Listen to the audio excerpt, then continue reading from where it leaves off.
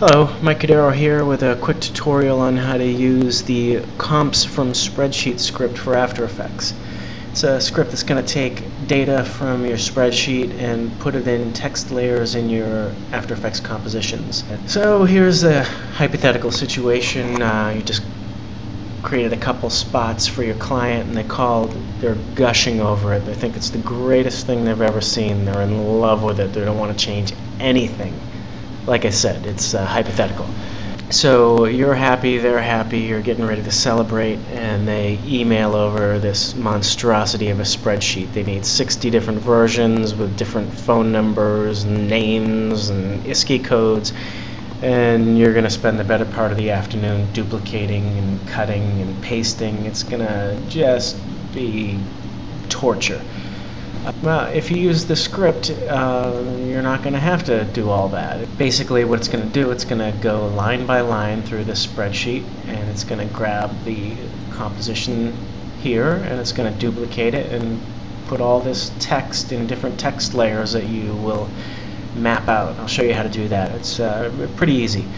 Uh, first thing to keep in mind is that after Effects can't read this Excel document. If you try to feed this to After Effects, it's just going to laugh at you, which could potentially hurt your feelings, so don't do it.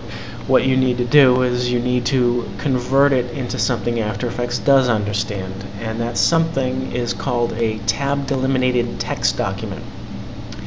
And any database program or spreadsheet program is going to be able to convert to this format. So we're going to do save as text tab delimited go now we've created this grid.txt file from our spreadsheet. Definitely does not look as pretty as our spreadsheet um, but to After Effects it's going to look gorgeous. This is exactly what After Effects loves. It's just straight text. One thing uh, I forgot to mention it's my first tutorial so uh, cut me some slack. In your spreadsheet you need the very first line instead of being data you need it to be kind of headings.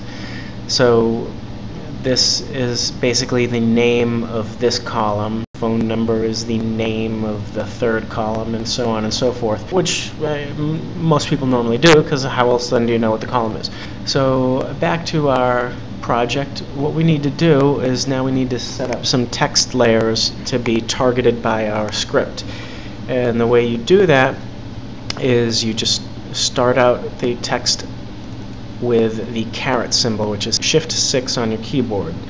So we're going to just call this text document Shift 6 for name, Shift 6 ISCI.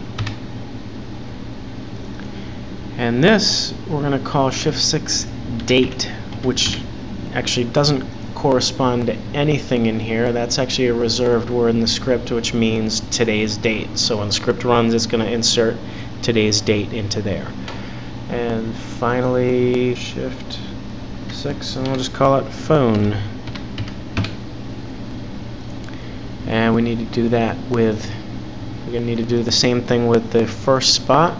We need to make all our layers again.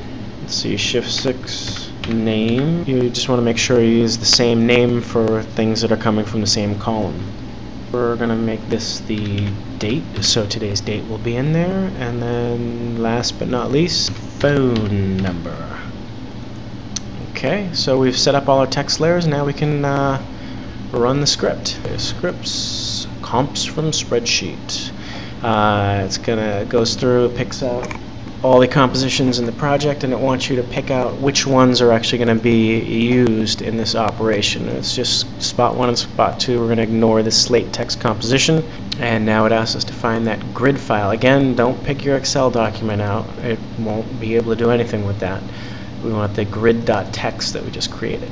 You'll notice now has these fields which are coming from, remember I told you you had to make these heading names and underneath of the, each of those headings is a drop-down box. Um, the first line of the drop-down box is comp, all in caps, which we'll get to in a second. Underneath that is the three text layers that we created with the caret symbol. You remember caret name, caret ISCI, and caret phone. Well, we have name, ISCI, and phone underneath there. And basically, what we're doing is we're syncing up those text layers with the columns in the spreadsheet. Um, and you'll see the program was smart enough to pick out that because our name heading is the same as the name text layer, it kind of picked that out for us from the drop-down box, as with ISCI. Phone it did not get because in our heading it's called phone number and our text layer we just called phone, but that's fine. We'll just pick out phone from the drop-down phone number from the drop-down box and uh, all's good. So that brings us to the very first name in the drop-down box, which is comp, all in caps. What that's going to tell the script that this column is where we're getting the name of the After Effects composition to use for that line. Remember when we started the script we picked out two compositions, comp 1 and comp 2. Um, so for each line the script needs to know which one of those compositions to be used. That comp name, that's going to tell the script that this column is where it's getting the name of which composition to use.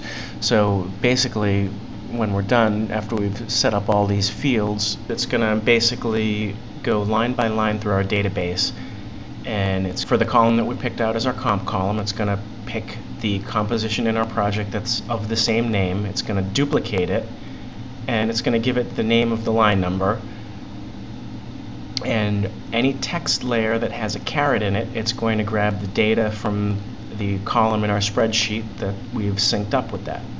And it's going to put it in the render queue with our default output module and render settings um, to be rendered in a folder called render in the same directory as our project. And it's gonna move on to the next one um, so here we go we've set up all our layers we'll click OK it asks us if we want to save a copy sure let's save a copy we'll call it copy uh, yes, now it starts chugging through line by line and it comes up with an error at line 54. There's no spot named SPO2. Are you kidding me? Those knuckleheads at the ad agency uh, misspelled spot 2 and called it SPO2. That's fine, we have a drop down box and it's asking us which one we want to use for line 54 since it can't figure out from SPO2 that that actually should be spot 2 click OK. And now you'll notice you have lots and lots of compositions that have numbers. Those numbers correspond with the line in the text document. So line 40 if we go and look for the comp named 40 it should have grabbed spot 2 which it did the name should be Krusty the Clown let's go look at our slate yeah indeed Krusty the Clown is the name put today's date in the date column. Uh, ISCI code 457-55745. It did that properly. And last but not least is the phone number. And uh, it did that as well. So it basically went through line by line. It picked the right composition, made a copy of it, renamed the line number, and even put it in the render queue. All you got to do now is hit render and you're done. Um, one thing to keep in mind, since you are going to be rendering 60 some odd versions, um, when I originally created this commercial, it was probably like 50 layers effects, and it probably took like 20 minutes to render. So if we're making 60 copies of that and rendering it, if it take take 20 minutes a piece, that's uh, going to take a real long time. So what I did is I pre-rendered everything except for the text layers that I'm going to be targeting and that, that are going to be changing. Um, all the text layers that are not changing I left in the spot. And uh, you can also use it if you make a lot of slates. It'll, uh, you know, you can just make up a slate template and um, chug away at that.